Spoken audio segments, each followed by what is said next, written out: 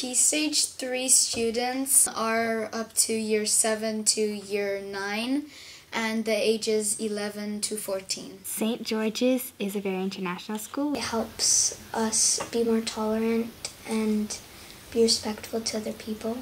There are lots of different nationalities and there are really good teachers here. Very supportive atmosphere. You feel safe and secure and you don't feel like you need to be someone else just to fit in.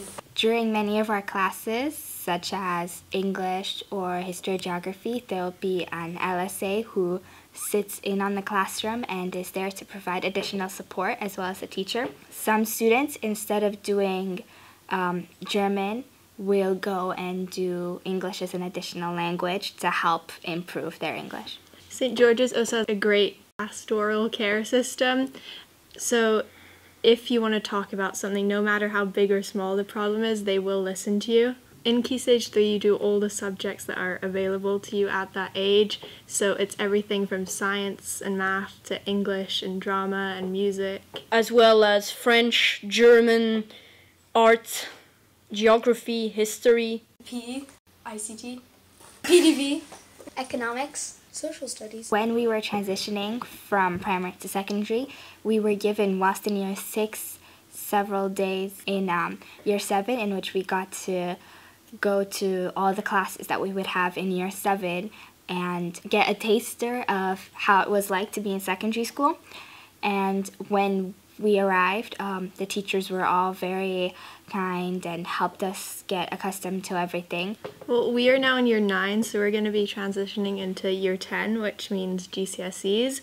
And um, we're going to get similar to what we had in year 6 taster lessons to all the possible subjects that we can take in year 10 and year 11. So if you still haven't found your passion, you may be able to found, find it in those taster lessons. This process is one that is taken very seriously, and we are going to be given a lot of help in and with the decisions.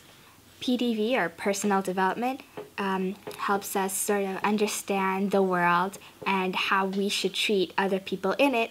And it also focuses on us and our growth and our learning and how we, we learn best and all sorts of things that will help us learn better and succeed. In one word, what does St. George's mean to you? Um, international and diverse. Courage.